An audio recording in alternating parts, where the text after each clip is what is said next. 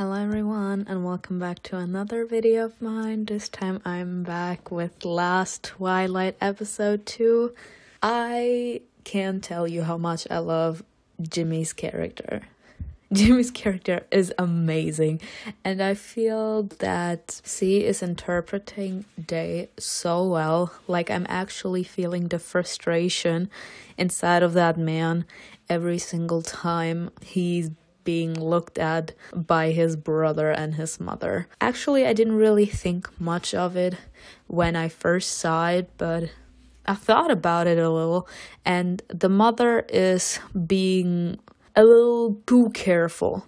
Like, as soon as Day started to lose his eyesight more and more, she literally had the impression that that also meant that he can't do anything by himself anymore.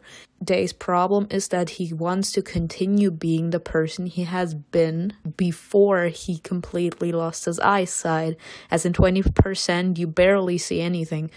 So now he has that problem, but he doesn't want that to be a problem because of that restriction he has now that he literally cannot continue being an athlete.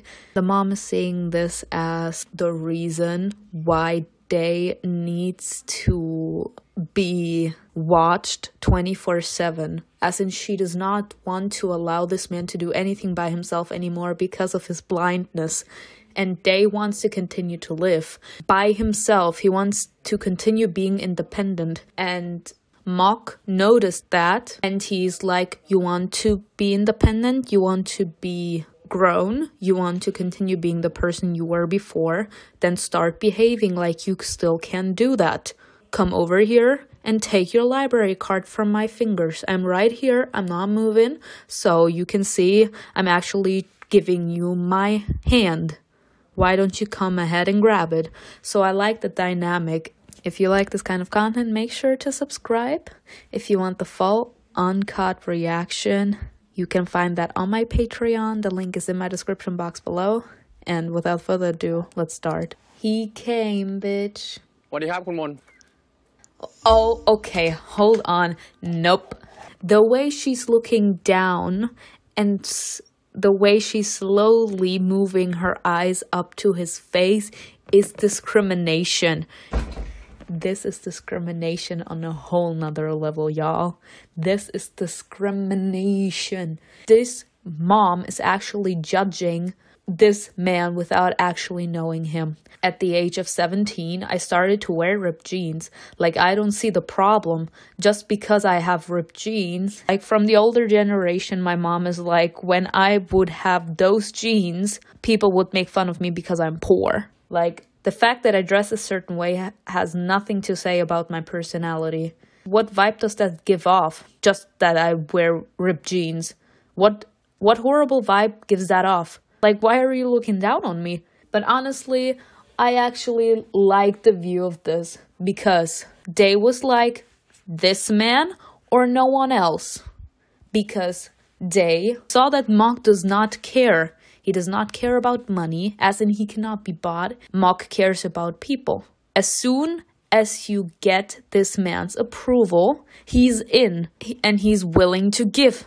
And that's exactly what Day needs. Day need someone to be by his side because sadly he can't do much by himself anymore. But he also wants to have the feeling that he can do things by himself. Like he doesn't want to be 100% dependent on someone. He still wants to feel independent, and Mhok literally gives him those vibes. He's like, okay, I'm gonna be by your side. You hired me, I'm here, I'm coming. But I'm not doing everything for you. You want to be independent?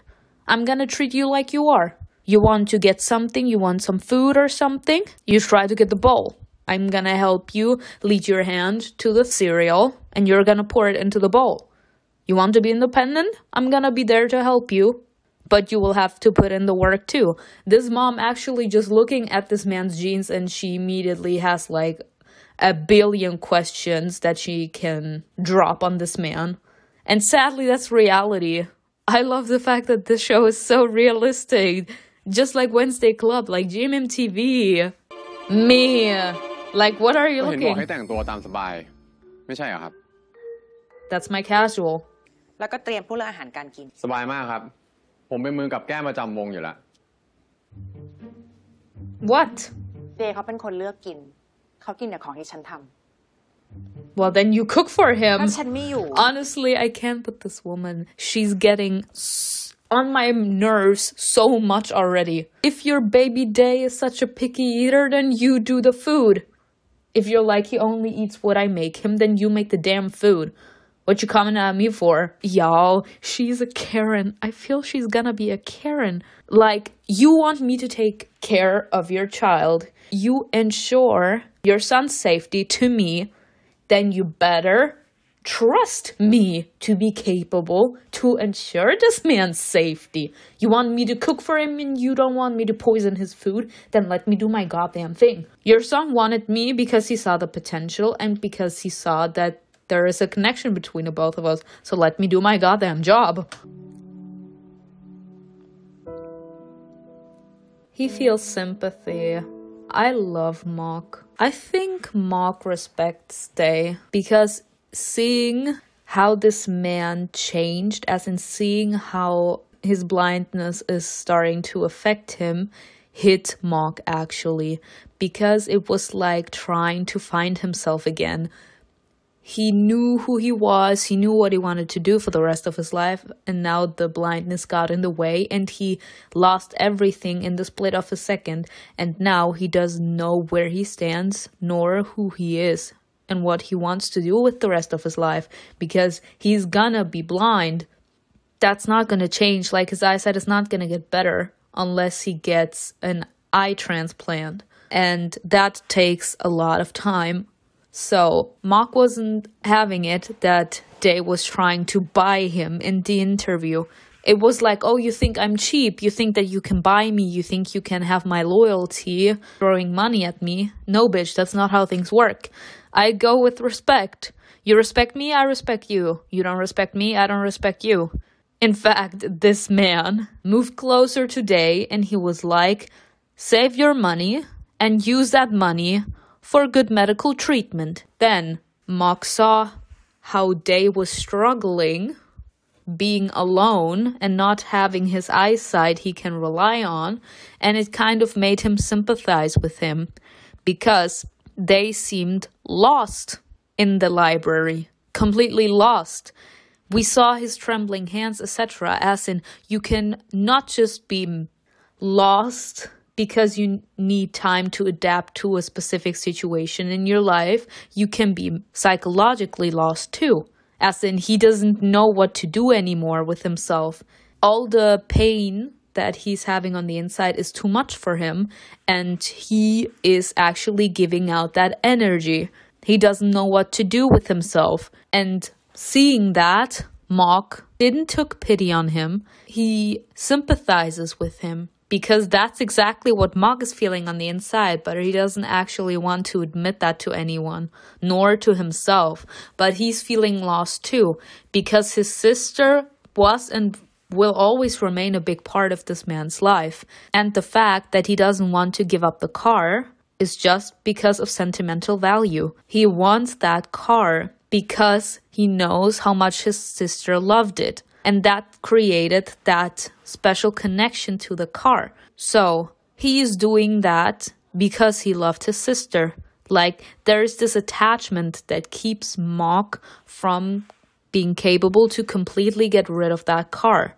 The same thing is with Day.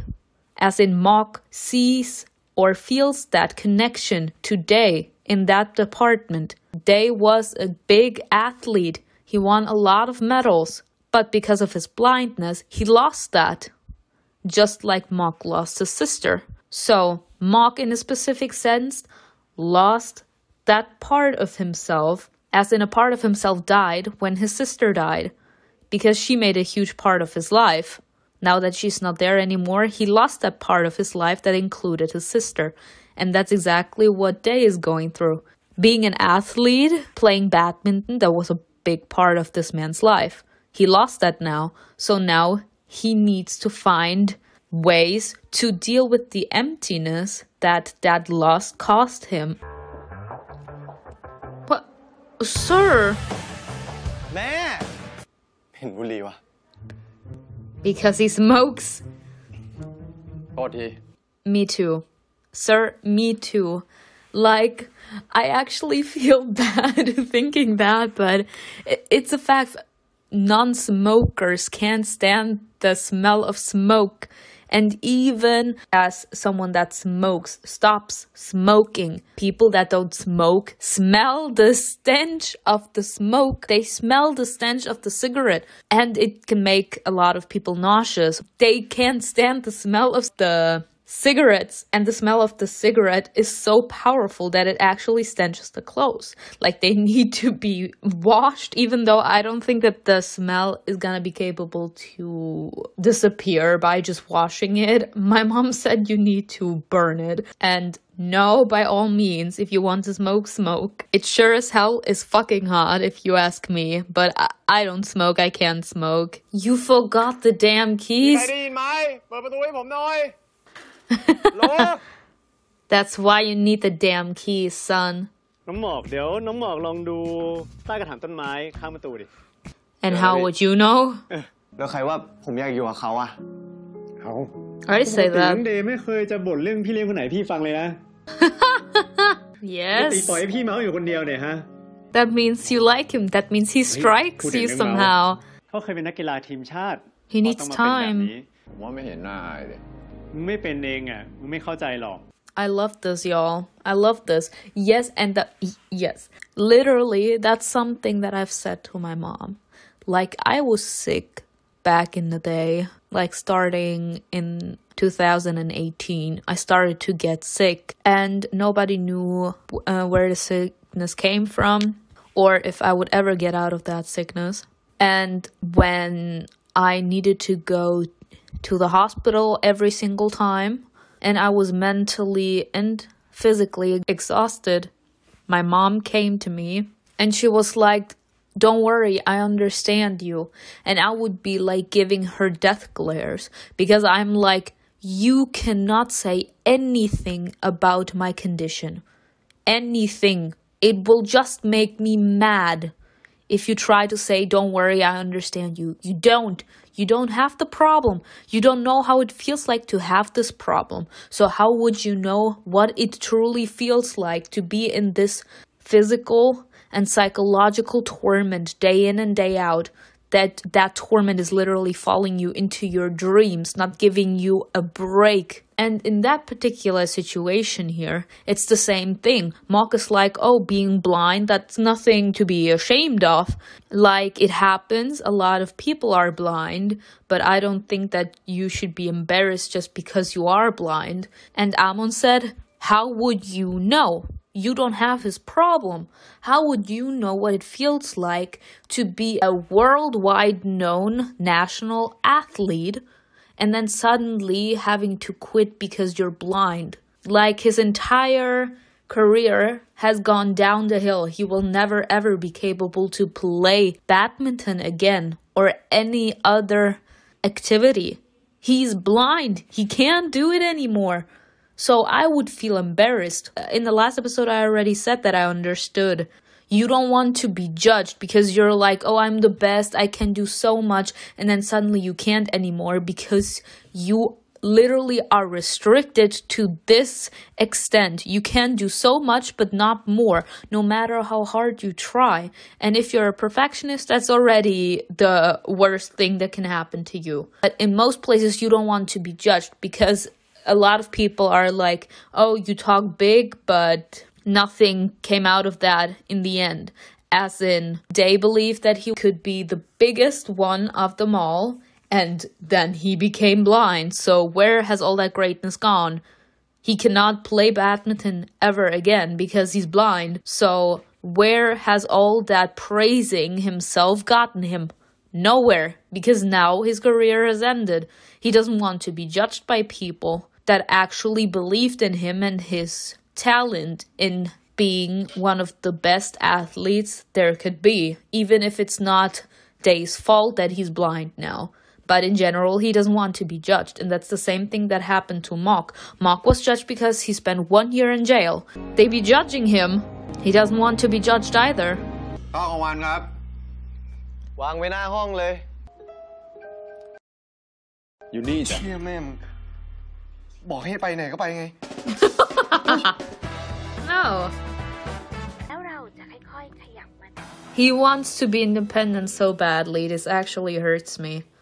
No, I need to address this. It's very, very difficult, especially for a perfectionist or for someone insanely proud, okay? It's very difficult to ask for help or to accept help because asking for help is a sign of weakness and nobody wants to be weak. So we prefer to psychologically die trying than taking the easy way out because it's literally like you admitting that you can't do something by yourself. And depending on how proud you are, you can feel shame and embarrassment. This man right here is very, very proud of who he is or of who he was. He was a good athlete, he had friends. We're gonna put that in air quotes because they weren't real friends if they're not here anymore. And he doesn't want to be dependent on anyone. He wants to be independent, but his sickness is actually saying you can't be independent because you will actually need guidance. And as long as they hasn't accepted that he needs help from now on, and that he will have to come to terms with the fact that he could be temporarily or even permanently blind, he will never be capable to psychologically heal. And it's insanely difficult to accept that, first of all. Second of all, this man is gonna have a huge problem in the future because we already know that getting an eye donor for his eye transplant is already difficult enough. It doesn't mean that he won't be capable to see ever again, because as soon as they have an eye donor because of his money, he will be the first one to get the surgery. But for the time being, he will be temporarily blind because his eyesight is getting worse. So he will need to accept the fact that he will need to rely on someone else that isn't himself because of his condition now. And that's something that Day does not want to do. Because right here, he would have needed to ask for help. Because it smells of smoke. Yes, Jimmy, I love it. Oh my gosh, he rarely sees a damn thing. ซื้ออะไรเนี่ยก็ไหนคุณบอกไมีกินบุหรี่สรุปให้ผมหยอดใช่ไหมเนี่ย ถ้ามันตายเนี่ย ผมไล่คุณออก เอ้าเกี่ยวอะไรวะ Sir! มันคุณก็มาช่วยล้าง It's กับผ your ม fault! เกี่ยวอะไรอะปลาคุณไม่ใช่ปลาผม Because it's your มือคุณก็ fish. ยังว่างอยู่ไม่ใช่เหรอ Love it. อย่างนั้นคุณก็มีเงิน มีบ้าน มีครอบครัวที่เขาเป็นห่วงคุณอะตามคุณมาแล้วของทุกอย่างของผมไป Yeah. See? เวลาที่คุณส่องกระจกอ่ะ I love this. This is literally what I said in the first part of this episode. I feel this. I feel this on a personal level. When I was sick, and my mom would always come to me and be like, I understand you, I get you. No, you don't. You don't. You don't know what it feels like to have what I have. You can tell me I understand when you actually have the same problem. You are yelling at me and being like, I get you, but you can get through this. I got through this too. Then you are less likely to yell at the person because they actually know what it feels like. You find your voice, your own emotions in the other person's words. That's a different thing. But when you don't actually have the problem yourself, you can't understand what it feels like. This man is blind. He's becoming blind. And as the days go on, he has to accept the fact that he is blind. And he doesn't want to be blind. He wants to go back to his usual self, but he can't. And hearing everyone saying, oh, you'll get used to it, don't worry, it's gonna be okay. How the fuck will you know? You don't know if everything is gonna be okay, and you don't know the mental torture I'm going through every day seeing how my vision is blurring more and more. Like, you don't understand it, and I love this. This is realistic. Yes, GMMTV. One. One.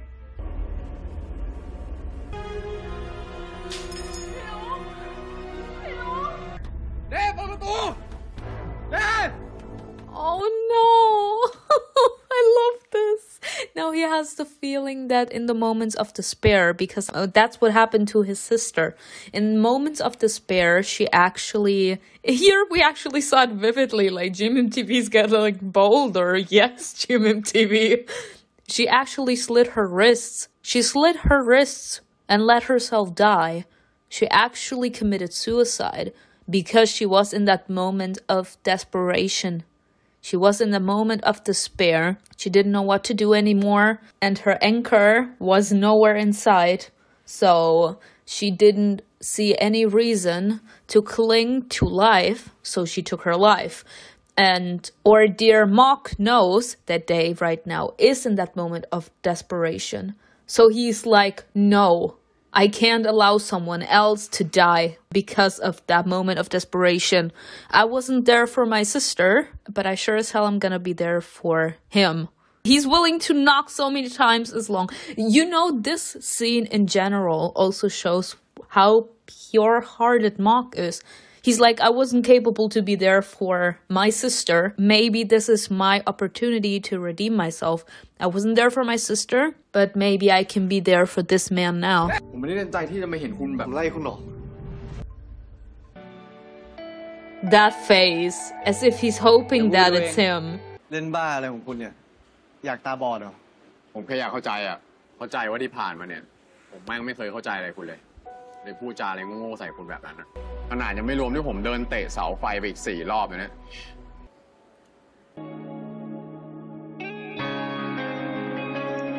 Handsome, isn't he? oh, that's how he sees him. But he can see. yeah, you staring at him and not the fish. They did not have to pull the same shenanigans again. So next episode day is gonna be in the middle of the streets again. Let's hope that he's not gonna get run over this time by a car. But yeah, there's literally nothing more I could say to this episode. This episode was so cute and I can't say how much I love GMMTV for actually going deeper into people's feelings. I never felt that GMMTV actually tackled so many sensitive topics before, but lately, every single series that they're tackling hits me more and more. There's actual real human emotions, something that can be troublesome for a lot of people. And I love that this is being brought out like this. But, anyways, next episode is gonna be even cuter, I feel. And let's hope that the understanding between Day and Mhok grows because they actually have great chemistry. But yeah, I hope you enjoyed this video with me. Tell me in the comments below what you think was best, and I will see you in another video. Bye.